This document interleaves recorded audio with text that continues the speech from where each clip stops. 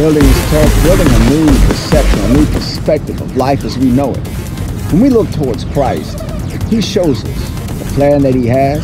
Fact, it's set forth all the way from creation. There's a story within the name of God. Adam, Seth, Enosh, the man God appointed. His beloved, David, what we end up seeing, it says, the son of David, the son of Abraham, son of the beloved, son of many nations, the son of God. That's giving you a description of Christ, building forth the very evidence of the characteristics of his name. When we look towards the eternal salvation that is set forth within Christ, you realize that you also can receive that very same eternal salvation and the blessing that cometh forth from Christ. He teaches us to go forth. He builds our life. He ends up constructing the very strength, the fortification, the edification of body, mind, soul, and spirit.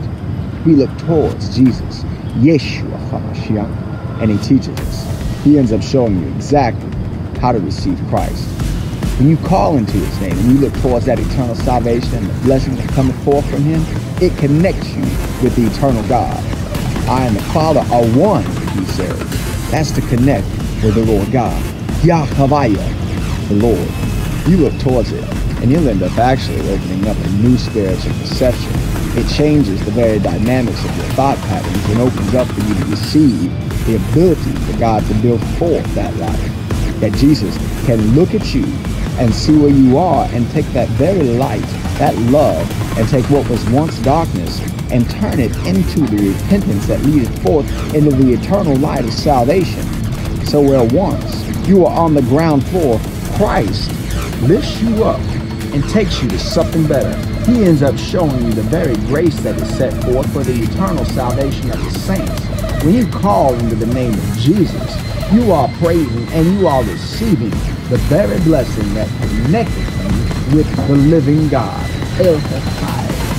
That love, that peace, the patience, the perseverance, and the persistence of the tenacity of love that is set forth and emanated unto his name through God and through the Word is how we end up having an interpersonal relationship with the living God.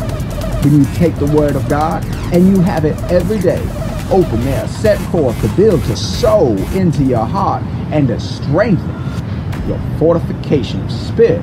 That spiritual edification leadeth forth into an eternal salvation of righteousness that cometh forth from Christ Jesus.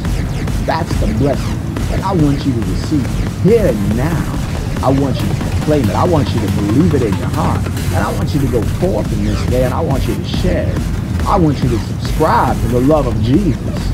I want you to have that spiritual perception that through the word of God, we can end up seeing all of our blessings before us. He shows us the spiritual path and opens our eyes. If we stray, he brings us right back.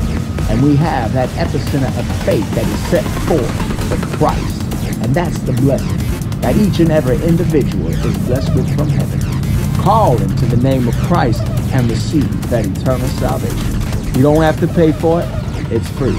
God's there for you now, and he always will. God bless. God bless America.